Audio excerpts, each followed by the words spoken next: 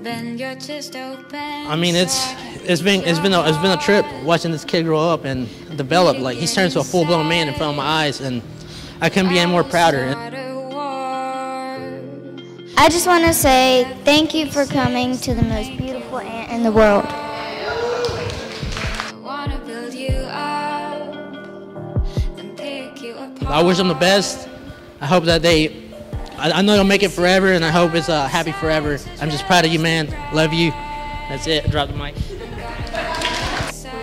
She became a part of my family, and I became a part of hers. I think of Caitlyn more as a sister than a best friend. When I found out she was getting married, I screamed. I was so happy for her and Ben, and I still am. And I wish y'all two the very best, and I love y'all very much. And uh, let's say uh, we love you, Ben and Caitlyn. We love you. Thank you.